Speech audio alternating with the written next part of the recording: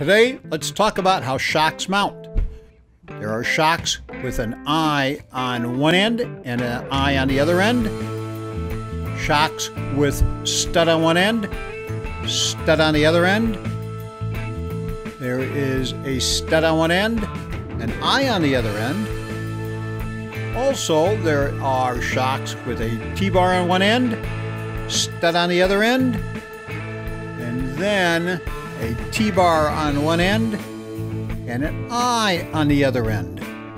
These are the most popular mounting shock types. Next week, come back and we'll show you how to measure a shock when it's not listed in the catalog.